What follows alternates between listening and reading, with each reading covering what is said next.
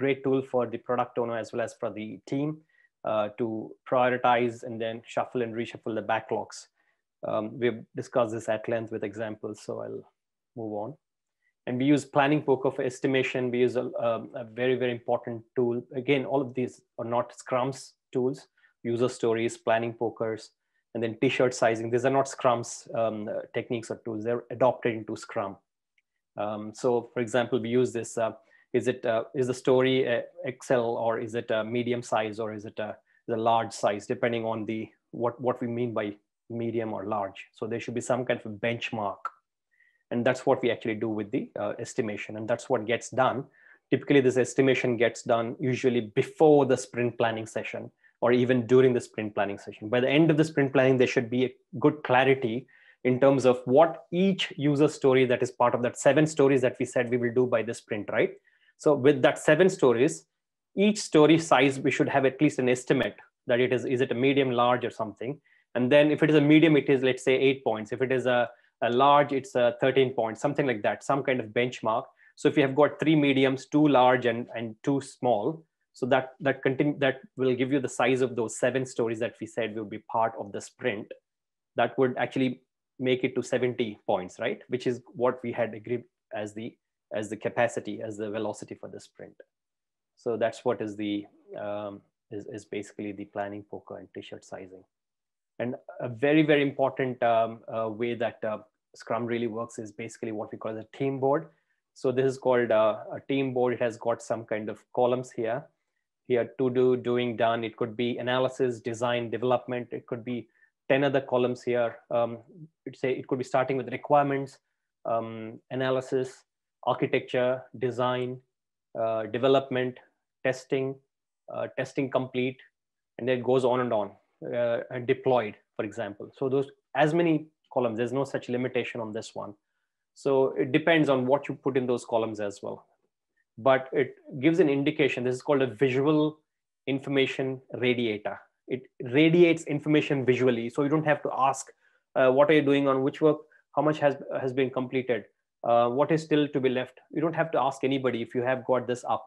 So the team maintains this um, team board, the Kanban board.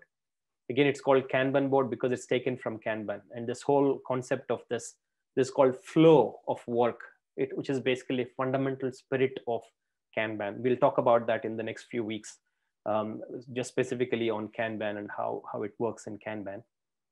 But basically, Scrum adopted that approach of uh, the, the fundamental way that you manage the flow of work across these different streams.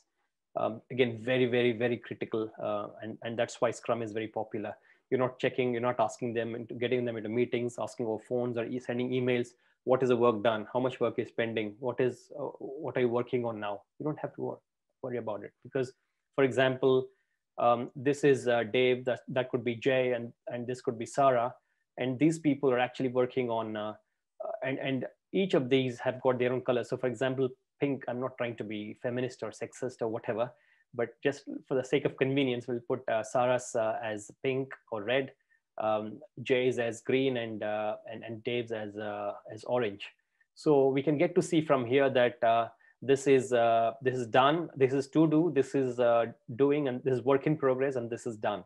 So within a quick loop, you can actually get to see what how much of work has uh, Sarah completed, what is she still got to do, and what is what has um, what is the, the work in progress of Sarah just by looking at this she doesn't have um, anything to do. She has already got two of the uh, tasks work in progress. She has finished two of them already, right? And deployed them perhaps. And then Dave's, uh, we've got, uh, still he did not start four of the tasks. He has completed two of them and has got about two done, right? So you get to have an idea, similarly Jay's. So just by looking at it, you get an idea about how the work is progressing, right? That's the beauty of this uh, Kanban. It's called visual information radiators. They radiate the information visually very effectively, very, very powerful tool. I would suggest you uh, use that.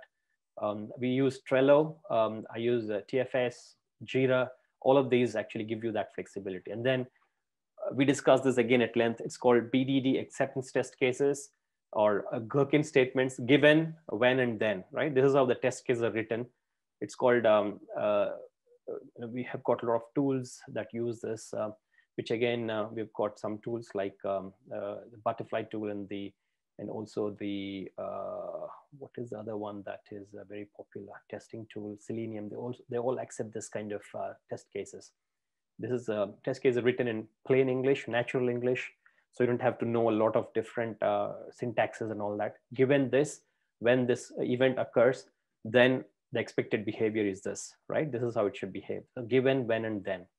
And then you actually write these test cases. We discussed this yesterday about the TDD, test-driven development, where you first write the test cases and then start uh, the requirements and the and, and the and the piece of execution, the implementation. So first time around, write the test cases, uh, run them through, they, they fail, and then they actually do some work and then make sure that it, the, the, the test case are passed after a few iterations, right? So this is at the end of the sprint. You started the sprint with uh, 100 test cases, all of them fail. After about day three, you again do the testing execution, then about uh, 20 pass and still you've got uh, um, 70 or 80 of them fail. And then you continue that after, after about a few days, after the seventh day, you can actually get about 80 of the test cases uh, pass and you still have 20. And after the 10th day, which is the end of the sprint, you have got all of them pass. So that's the spirit of, uh, again, um, BDD and the test-driven development widely used in